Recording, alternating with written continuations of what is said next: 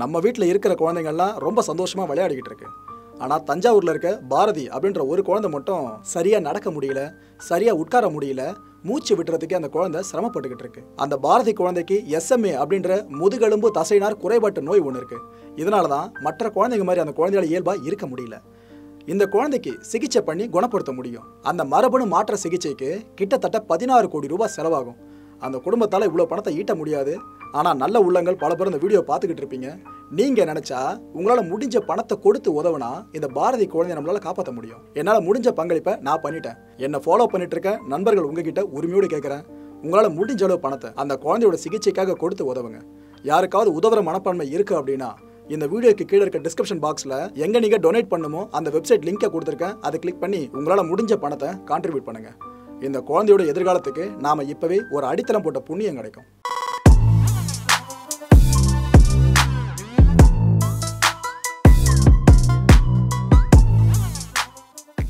வணக்கம். Big topic with Karthik பாய்குமார் தமிழகத்தை சேர்ந்த ஒரு மிகப்பெரிய யூடியூபர் ஒருத்தருங்க.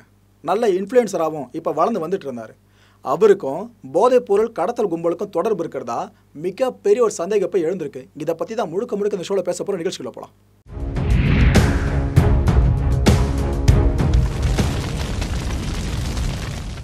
நம்ம நாகை பகுதி கீச்சான் குப்பம் இருக்குல்ல அதை சேர்ந்தவர் தான் குணசீலன். இவர் ஒரு யூடியூப் சேனல் வச்சுருக்காருங்க. இந்த ஆயிரம் பேர் யூடியூப் சேனல் ஆரம்பித்தா அதில் ரெண்டு பேர் மட்டும் தான் பெருசாக ஷைன் பண்ண முடியும்னு சொல்லுவாங்களே அப்பேற்பட்ட ரெண்டு பேரில் குணசீலனையும் எடுத்துக்கலாம். அந்தளோட யூடியூப் சேனல் இப்போ வரைக்கும் பெருசாக பேசப்பட்டுக்கிட்டு இருக்கு. எந்த வீடியோ போட்டாலும் கேரண்டியாக இருபதாயிரத்துக்கு மேலே வியூஸ் போயிடுதுங்க. நல்ல க்ரோத் இருக்க சேனல் தான். அந்த சேனல் பேர் நாகை மீடவன்.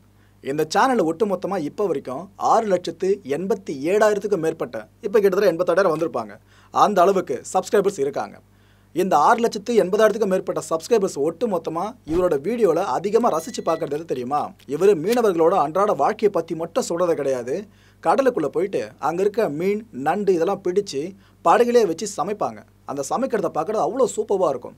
ஏன்னா யூடியூப்பில் அதிகமான வியூவர்ஷிப் இருக்கிற ஒரு கண்டென்ட்னு பார்த்தீங்கன்னா இந்த குக்கரி கண்டென்ட்டுக்கு ஸோ இதுவும் மீனவர் வாழ்க்கையும் பின்னி பிணைஞ்சதாலேயே இவரோட வீடியோவுக்கு நல்ல அமோக வரவேற்பு கிடைச்சிது. நிலத்தின் மேலே சமையலை செஞ்சு அதை வீடியோவாக மாற்றி அது மூலமாக நல்ல ஏர்னிங்கையும் ஃபேமையும் அடைஞ்சிட்டு இருக்க சேனல் பார்த்தீங்கன்னா வில்லேஜ் குக்கிங் சேனல் தரையில் இவங்க பண்ணுற வேலையை தண்ணியில் ஒருத்தவங்க பண்ண எப்படி இருக்கும்? அந்த கான்செப்டை ஏந்திருக்கிறதா இந்த நாகை மீனவன் அப்படின்ற யூடியூப் சேனல் இன்னும் ரெண்டு வருஷத்தை மட்டும் பிரச்சனை இல்லாமல் இந்த நாகை மீனவன் யூடியூப் சேனல் மட்டும் ரீச் பண்ணி இருந்துச்சு அப்படின்னா இந்த வில்லேஜ் குக்கிங் சேனல் இருக்குல்ல இது பிடிச்ச இடத்த கண்டிப்பாக இந்த சேனலும் பிடிச்சிருக்கலாம்.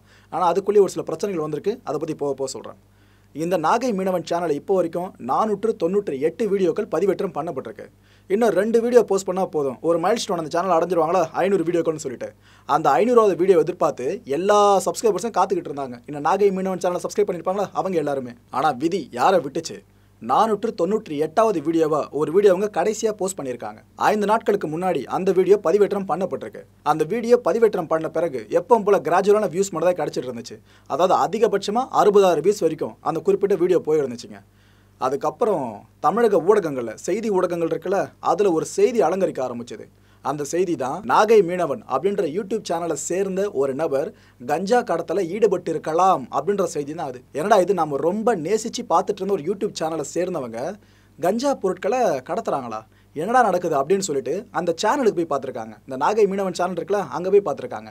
அங்கே ஒரு போட்டிருக்க கடைசி வீடியோ எது? அதையும் செக் பண்ணியிருக்காங்க இந்த வீடியோ பார்க்க மிஸ் பண்ணவங்க அதையும் செக் பண்ணியிருக்காங்க இது போல் செய்தியை கேட்டு இந்த சேனலுக்குள்ளே வந்து வீடியோ செக் பண்ணியிருப்பாங்களே இவங்களாலேயே அந்த நானூற்று தொண்ணூற்றி எட்டாவது வீடியோ இருக்குது பாருங்கள் அதுக்கு நல்ல வியூவர்ஷிப் கிடைச்சிது. இப்போ வரைக்கும் ஒரு லட்சத்தி பதினாயிரத்துக்கும் மேற்பட்டவங்க அந்த ஒரு வீடியோவை பார்த்துருக்காங்க. எப்படி? நெகட்டிவான செய்தி ஒன்று வெளியாகியிருக்கு ஊடகங்களில். அதை பார்த்து பயந்து போன இந்த சேனலோட சப்ஸ்கிரைபர்ஸ் இந்த சேனலுக்குள்ளே போயிட்டு வீடியோ தேடி இருக்காங்க கடைசி வீடியோன்னு பார்க்குறப்ப அது இந்த வியூஸை டபுள் ஆக்கி கொடுத்துருக்கு. ஒரு வீடியோவோட வியூ அப்படின்றது எப்படிலாம் உயரும் எப்படிலாம் சரியும் அப்படின்றதுக்கு எந்த ஒரு விஷயம் ஆகச்சிறந்த சான்று. அதுவும் இந்த குறிப்பிட்ட நானூற்று தொண்ணூற்றி எட்டாவது வீடியோ பற்றி சொல்லி ஆகணும். இந்த சிங்கி இறால் இருக்குல்ல இதை வச்சு தான் அந்த வீடியோ அவங்க மேக் பண்ணியிருந்தாங்க. நிறைய குக்கிங் சேனல் இந்த கான்செப்டை பண்ணியிருந்தாலும் இவங்க பண்ணது அவ்வளோ சூப்பராக இருந்துச்சு. டைம் இருந்தால் நீங்கள் கூட அந்த வீடியோ பாருங்கள் அவ்வளோ நல்லா பண்ணியிருக்காங்க ஆனால் இது போல் குக்கரி கான்செப்டை பண்ணிட்டு இருந்த இவங்க தான் போதைப்பொருள் கான்செப்டே கையில் எடுத்திருக்காங்களோ அப்படின்ற ஐயம் இப்போ எழுந்திருக்கு. சில நாட்களுக்கு முன்னாடி என்ன ஆகுது? சுங்கத்துறை அதிகாரிகளுக்கு ஒரு தகவல் கிடைக்குது. அதாவது கீச்சாங்குப்பம் அக்கரைப்பேட்டை இந்த ரெண்டு பகுதிகளிலையும் மீனவர்கள் கடலுக்குள்ளே போகிற மாதிரி போகிறாங்க ஆனால் அந்த மீனவர்களில் ஒரு சிலரோட படகுகளில் கஞ்சா போதைப் பொருள் கடத்தப்படுது. இங்கிருந்து கடத்தப்படுற கஞ்சா போதைப் பொருள் எல்லாமே இலங்கைக்கு போகுது. அங்கதான் மிகப்பெரிய அளவில் கஞ்சாக்கள் சப்ளை பண்ணப்படுது. ஒவ்வொரு இடங்களுக்கு ஒவ்வொரு நாடுகள் பேசல ஸோ அதுக்கான ஒரு குறிப்பிட்ட வலைப்பாதையா இந்த மீனவ பகுதி இருக்கு அப்படின்னு ஒரு தகவல் கிடைக்குது. இவ்வளோ பேர் தகவல் கிடைச்சதும் ஆஃபீஸர் சும்மா இருப்பாங்களா? எல்லாம் களமிறக்கிட்டாங்க பதினஞ்சு பேரை கொண்ட அந்த சுங்கத்துறை அதிகாரிகள் குழு குறிப்பிட்ட அந்த ரெண்டு இடம் இருக்கு பாருங்க. கீச்சாங்குப்பம் அக்கரைப்பேட்டை. அந்த இடத்துக்கு போயிட்டாங்க. இந்த ரோந்து குழு அந்த இடத்துல இருக்க நாகை மீன்பிடி துறைமுகம் இருக்குல்லங்க. அங்கே போகிறாங்க இவங்க வர்றதை தூரத்தில் இருந்து ஒரு டீம் பார்த்துருது அந்த டீம் வேற எதுவும் இல்லை. படகுல கஞ்சாவை ஏற்றிக்கிட்டு இருந்த ஒரு டீமுங்க. இவங்க அதிகாரிகளை பார்த்ததும் அந்த படகுலையே கஞ்சாக்கள் எல்லாத்தையும் தூக்கி போட்டு பயத்தில் ஓட ஆரம்பிச்சிட்டாங்க. இவங்க ஓட்டுறதை பார்த்தா அந்த அதிகாரிகள் கிட்ட வந்து படகை ஓப்பன் பண்ணி பார்த்துருக்காங்க. அதிர்ச்சி ஆயிருக்காங்க அதாவது பத்து மூட்டைகளில் இருநூற்றி எண்பது கிலோக்கு கஞ்சா உள்ள வைக்கப்பட்டிருந்திருக்கு. இன்னும் கொஞ்ச நேரம் அதிகாரிகள் அந்த இடத்துக்கு தாமதமாக போயிருந்தாங்க அப்படின்னா படகுல எல்லா கஞ்சா மூட்டையும் ஏற்றிட்டு இவங்க எங்கே அதை அனுப்பணுமோ அங்கே அனுப்பிச்சு விட்டுருப்பாங்க. நல்ல வேளை அதிகாரிகள் சீரமாக போயிருக்காங்க. இந்த பறிமுதல் செய்யப்பட்ட கஞ்சாவோட ஒட்டுமொத்த மதிப்பு எவ்வளோ தெரியுமா? ஒரு கோடி ரூபாயில இருந்து ரெண்டு கோடி ரூபாய் வரைக்கும்னு சொல்கிறாங்க சாதாரண படகுல மீன் பிடிக்க போகிறதா நாம் நினச்சிக்கிட்டு இருக்கோம். ஆனால் அதில் ஒரு சிலர் பண்ணுற இது போல தப்பால் ஒட்டு மொத்தமாக அங்கே அந்த தொழிலில் ஈடுபட்டிருப்பாங்களே அவங்க பேருக்கும் இழுக்கு ஏற்படுது. எவ்வளோ ஒரு புனிதமான தொழிலாக மீனவ தொழிலை இப்போ வரைக்கும் பார்த்துட்ருக்கோம். நான் புனிதம்னு சொல்கிறத ஒரு சிலர் மிகப்படுத்தி சொல்கிறதா நினைக்கலாம். அதெல்லாம் இல்லை மக்களே. நம்ம ருசிக்காக உயிரை பணையை வச்சு ஒரு வேலையை செய்கிறாங்க அப்படின்னா அது புனிதமான தொழில் தான். அதில் மாற்று கருத்தே இல்லை. என்னோட ஸ்டாண்டில் ரொம்ப தெளிவாக இருக்கேன். ஸோ அதனால தான் அந்த ஒரு வார்த்தை பதத்தை யூஸ் பண்ணியிருந்தேன். இப்பேற்பட்ட நிலைமையில் இந்த மீனவர்கள் தெரிச்சு ஓடினாங்க பார்த்தீங்களா அந்த படகுல எல்லா கஞ்சா மூட்டை ஏற்றிட்டு இருக்கிறப்ப இவங்களை தேடுற பணியில் அந்த சுங்கத்துறை அதிகாரிகள் தீவிரமாக ஈடுபட ஆரம்பிச்சிட்டாங்க. இது கூட இன்னொரு முக்கியமான விஷயம். இந்த நாகை மீனவன் யூடியூப் சேனல் சொன்ன பார்த்தீங்களா அந்த குணசீலன். அவர் இந்த ஸ்பாட்டில் பெருசாக பார்த்த மாதிரி தெரியலங்க. ஆனால் அந்த நாகை மீனவன்ற பேரை ஏந்திக்கிட்டு ஒரு படகு அங்கே இருந்திருக்கு. அந்த படகுல தான் இந்த வேலைகள்லாம் நடந்திருக்கு.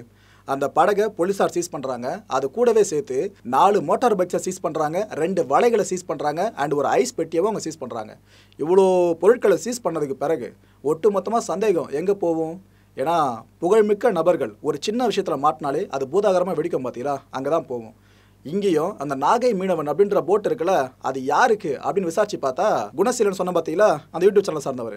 அவர் பேர் அடிபடிச்சுங்க அவரோட குடும்பத்துக்கு சொந்தமான போட்டு தான் இதுவும்.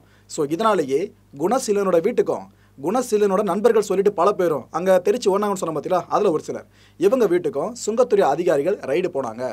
வீட்டுக்குள்ளே போயிட்டு எல்லா இடத்துலையும் சின்ன சின்ன பக்கெட்ஸ் பிளாஸ்டிக் பக்கெட்ஸ் முத கொண்டு எல்லாத்தையும் தூக்கி போட்டு சோதனை பண்ணாங்க. அந்த சின்ன ஏரியாக்குள்ளே ஒயிட் ட்ரெஸ்ஸில் பல ஆஃபீஸர்ஸை பார்க்க முடிஞ்சுது. கஸ்டம் ஆஃபீஸர்ஸ் ஒட்டு மொத்தமாக அந்த இடத்த சூழ்ந்துருந்தாங்க ஒரு கட்டத்தில் பரபரப்பு அப்படின்ற வார்த்தைக்கு நம்மளுக்கு சரியா அர்த்தம் தெரியல அப்படின்னா அந்த இடத்துக்கு போயிருந்தா தெரிஞ்சிருக்கும். அந்த அளவு காட்சிகள் நம்மளே பயமுறுத்துற மாதிரி இருந்துச்சு. ஏன்னா போயிட்டு வர மக்கள் எல்லாம் பார்த்துட்டு பார்த்துட்டு போகிறாங்க யார் இவங்க? இவ்வளோ பேர் அதிகாரிகள் என்ன பண்ணிட்டு இருக்கான்னு சொல்லிட்டு. எத்தனை பேர் தெரியுமா? கிட்டத்தட்ட ஐம்பதுக்கும் மேற்பட்ட சுங்கத்துறை அதிகாரிகள் இவங்க கூடவே ஆயுதம் ஏந்திய போலீஸார். ஏன்னா ஒரு நாட்டிலேருந்து இன்னொரு நாட்டுக்கு போதைப் பொருளை கடத்துறாங்கன்னா சாதாரண விஷயம் கிடையாதுங்கிறது இதோட வீரியம் என்னன்றது கண்டிப்பாக இப்போ உங்களுக்கு புரிஞ்சிருக்கும். இந்த குணசீலன் என்ன பண்ணிட்டாப்புல? தலைமறைவாயிருக்காராம். அவர் ஒன்று கைது பண்ணப்பட்டிருந்தாருன்னா அவர்கிட்ட விசாரணை மேற்கொண்டு உண்மை என்னடோ தெரிய வர வச்சிருக்கலாம். ஆனால் அவர் இப்போ தலைமறைவு அப்படின்ற செய்தியை கேட்டதுமே குணசீலனுக்கு அதில் தொடர்பு இருக்குமோ அப்படின்ற அச்சத்தில் பல பேரும் பேச ஆரம்பிச்சிருக்காங்க. இந்த அச்சப்படுறதுல பெரும்பாலும் குணசீலனை ஃபாலோ பண்ணிட்டு இருப்பாங்களா இந்த யூடியூப் சேனலை பேஸ் பண்ணி. அவங்க தான் அதிகமான அச்சத்தில் இருக்காங்க. ஒரு விஷயம் தெளிவாக சொல்கிறேன் கேட்டுங்க மக்களே. குணசீலன் தான் இந்த போதைப் பொருள் கடத்தல ஹண்ட்ரட் பர்சன்டேஜ் ஈடுபட்டிருக்காரு அப்படின்னு ஆழமாக இப்போ வரைக்கும் நிரூபிக்கப்படலை. இதை மனசில் வச்சுக்கோங்க. இவரை கைது பண்ணி அவர்கிட்ட விசாரணை மேற்கொண்டு அதுக்கப்புறம் டிபார்ட்மெண்ட்டை சேர்ந்தவங்க அறிக்கையை தாக்கல் பண்ணுவாங்க. அதுக்கு பிறகு தான் நாம் ஒரு முடிவுக்கு வர முடியும். அது வரைக்கும் யாரும் அவசரப்பட வேண்டாம். நம்ம தமிழகத்தில் ஏற்கனவே எல்எஸ்டி அப்படின்ற போதைப் பொருள் சார்ந்து எல்லாம் பயந்துகிட்டு இருக்கோம். ஸ்கூல் ஸ்டூடெண்ட்ஸ் கிட்டலாம் அந்த ஸ்டாம்ப் வடிவிலான போதைப் பொருள் போயிடுச்சுன்னா அவங்களோட எதிர்காலம் என்ன ஆகும்? சமுதாய சீர்கடி எந்த அளவு மோசமடையும்? இப்படின்னு பயந்துகிட்டு இருக்கோம். இதுக்கு நடுவில் இந்த ஆப்பிரிக்கன்ஸ்லாம் இருக்காங்களே அவங்களுக்கு அதிகமாக வேலை இல்லை அப்படின்றதுக்காக இது போல போதைப் பொருள் விற்பனையை கையில் எடுத்து சமுதாயத்தை சீர்கிடுற வேலையை பல வருஷமாக பார்த்துக்கிட்டு தான் இருக்காங்க. அப்போ ஆரம்பிச்ச விஷயம் இப்போ வரைக்கும் போய்கிட்டு தான் இருக்கு. சிங்கம் டூ அப்படின்ற படம் தமிழில் வந்திருந்துச்சுல சூர்யா நடிப்பில். அந்த படத்தில் மெயின் வில்லனுக்கு ரைட் ஹேண்டாக வந்த ஒருத்தர் தான் காக்வின் மால்வின் அப்படின்ற நடிகருங்க. இவர் ஒரு நைஜீரிய நாட்டை சேர்ந்த நடிகர். இந்த படத்தில் நிறைய காட்சிகளில் வில்லன் கூடவே சேர்ந்து டிராவல் பண்ணுற மாதிரி அவருக்கு கேரக்டர் டிசைன் பண்ணப்பட்டிருக்கும் நல்ல பேர் வில்லனுக்கு கிடச்சிது. அதில் கொசுறு மாதிரி அவருக்கு சின்ன சின்ன பேர்கள் கிடச்சிது. இவர் தமிழில் மட்டும் கிடையாது தெலுங்கு கன்னடம் மலையாளம்னு இது வரைக்கும் இருபதுக்கும் மேற்பட்ட படங்களை நடித்து முடிச்சிருக்காரு. அந்த மேல்வின் இப்போது போதைப் பொருளை விற்பனை பண்ணார் அப்படின்ற குற்றச்சாட்டின் பேரில் சிக்கி ஆதாரங்களோடு கைது பண்ணப்பட்டிருக்காரு. திரைப்படத்தில் போதைப்பொருள் கடத்துகிற கும்பலில் ஒரு முக்கியமான ஆளாக வந்த அந்த கேரக்டர் தான் நிஜ லைஃப்பில் போதைப்பொருள் விற்பனையை கையில் எடுத்திருக்கு. இப்போ எல்லாம் ஒரு விஷயம் நினச்சிருப்பீங்களே என்னப்பா இது? சிங்கம் டூ சூர்யா படம். அப்போ அன்றே கணித்தார் சூர்யா போட்டலாமா இதுதாங்க சோஷியல் மீடியா முழுக்க திரும்ப அந்த ஹேஷ்டாக் ட்ரெண்ட் ஆக ஆரம்பிச்சிருக்கு. அன்றே கணித்தார் சூர்யான்னு சொல்லிட்டு. இதில் ஒரு ஹைலைட் என்ன தெரியுமா? அவர் நடித்த பெரும்பாலான படங்களில் அவர் போதைப்பொருள் கடத்தல் கும்பலை சேர்ந்தவராக தான் நடிச்சிருப்பார். அந்த கேரக்டர் அவருக்குள்ளே ஊறிச்சா என்னமோ தெரியல நிஜ வாழ்க்கையிலையும் அதே வேலையை பண்ணி தொலைச்சிருக்காரு. இவர் ஆக்சுவலாக நடிப்பின் மேலே அதிகமாக ஈடுபாடு கொண்டிருந்த ஒரு நபருங்க. இதனாலேயே மும்பையில் இருக்க ஒரு பயிற்சி பட்டறையில் சேர்றாரு. அங்கே பயிற்சி எடுத்துக்கிறாரு நடிப்பு சார்ந்து. அதுக்கப்புறம் பெங்களூரில் வீடு எடுக்கிறாரு. அங்கே தங்கியபடியே தான் சவுத் இந்தியன் மூவிஸ்லாம் நடிக்க ஆரம்பிச்சிருந்தார். இவருக்கு சினிமாவில் சமீபத்தில் வாய்ப்புகள் குறைஞ்சிருக்கான் இதனால் பண வரவும் அதில் பாதாளத்துக்கு போயிருக்கு. இதில் அவர் யோசித்த விஷயம் தான் நம்ம போதைப் பொருளை விற்கலாம் அதை ஈஸியாக இங்கே விற்று ஈஸி மணியை நம்ம மேக் பண்ணலாம் அப்படின்னு அவர் முடிவு பண்ணியிருக்காராம் அந்த ஒரு முடிவின் காரணமாக தான் கல்லூரி மாணவர்களுக்கு போதைப் பொருளை அவர் வித்திருக்காராம். இந்த தகவல் போலீஸ் டிபார்ட்மெண்ட் தெரிஞ்சிருக்கு. அவங்க மேல்வினோட வீட்டுக்கே போயிருக்காங்க. வீட்டுக்குள்ளே போய் பார்த்தா அங்கே போதைப் பொருட்கள் பறிமுதல் செய்யப்படுது. இது கூடவே சேர்த்து ஐந்தாயிரம் ரூபாய்க்கு மேலே ரொக்க பணத்தை உள்ளே எடுக்கிறாங்க.